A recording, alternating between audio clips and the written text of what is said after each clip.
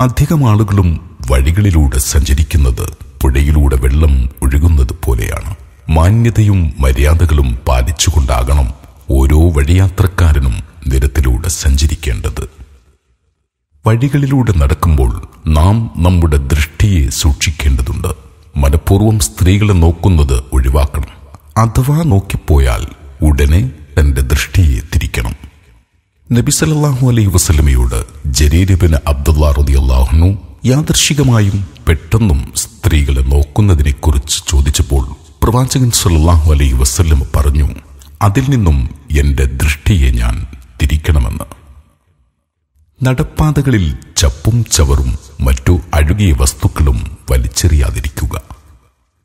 നബി സല്ലല്ലാഹു അലൈഹി വസ്ല്ലമ ഇപ്രകാരം പറയുന്നു മുസ്ലിങ്ങളെ അവരുടെ വഴികളിൽ ഉപദ്രവിക്കുന്നവൻ അവരുടെ മേൽ ശാപമുണ്ടായിരിക്കും. കല്ലുകൾ പോലെ ഉപദ്രവമുണ്ടാക്കുന്ന വസ്തുക്കൾ വഴികളിൽ നിന്നും എടുത്തു മാറ്റേണ്ടതുണ്ട്.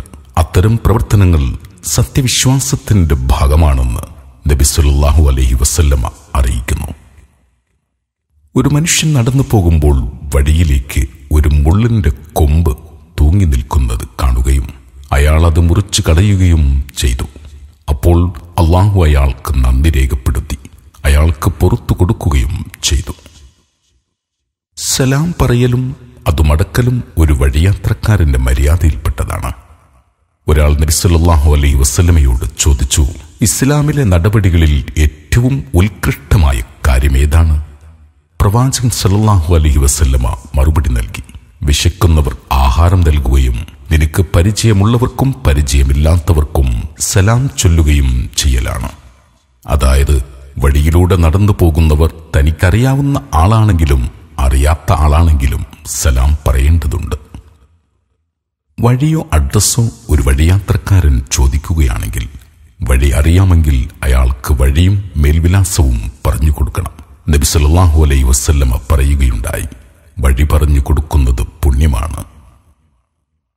പ്രായാധിക്യം കൊണ്ടോ മറ്റു വല്ല പ്രയാസം മൂലമോ നടക്കാൻ വിഷമിക്കുന്നവരെ വഴിയിൽ കാണുകയാണെങ്കിൽ അത്തരം ആളുകളെ സഹായിക്കുന്നതും വഴിയാത്രക്കാരന്റെ മര്യാദയിൽ പെട്ടതാണ് നബി സല്ലല്ലാഹു അലൈഹി വസല്ലമ പറയുകയുണ്ടായി ഒരാൾ മറ്റൊരാളെ തന്റെ വാഹനപ്പുറത്ത് കയറ്റി സഹായിക്കുകയോ അവന്റെ സാമഗ്രികൾ അവന്റെ വാഹനപ്പുറത്ത് കയറ്റാൻ സഹായിക്കുന്നതോ ധർമ്മമാകുന്നു.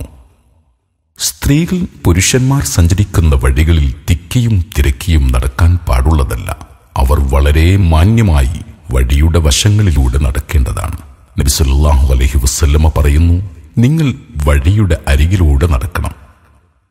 ഗുണകാംക്ഷയോടെയും സതുപദേശത്തോടെയും തനിക്ക് കഴിയുന്ന വിധത്തിൽ നന്മ കൽപ്പിക്കലും തിന്മ വിരോധിക്കലും ഒരു വഴിയാത്രക്കാരന്റെ മര്യാദയിൽപ്പെട്ടതാണ്. നബിസല്ലാഹു അലഹി വസ്ല്ലമ്മ പറയുന്നു ആരെങ്കിലും ഒരു തെറ്റ് ചെയ്യുന്നതായി നിങ്ങൾ ആരെങ്കിലും കണ്ടാൽ അതിനെ അവന്റെ കൈകൊണ്ട് തടയണം. അതിനു സാധ്യമല്ലെങ്കിൽ അവന്റെ നാവ് കൊണ്ട് തടയണം. അതിനും സാധ്യമല്ലെങ്കിൽ മനസ്സുകൊണ്ട് വെറുക്കണം. വിശ്വാസത്തിന്റെ ഏറ്റവും താഴ്ന്ന പടിയാണത്. നേർമൊഴി. ജീവിത വഴിയിലെ പ്രമാണനാളം. ഒരു ഓൺലൈൻ ഇസ്ലാമിക മതപഠന സംരംഭം.